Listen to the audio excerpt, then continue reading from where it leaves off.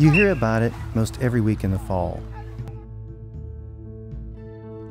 Some player, somewhere, is fighting for his life after a head injury. Those are the days when the game stops being a game. So I started thinking about armors in nature. For example, rams are protected when they collide. Could that guiding principle be applied to football helmets? We're replicating this process with the hopes of reducing concussions.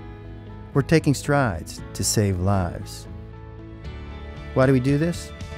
For the praise? To be esteemed as research pioneers? No, not at all.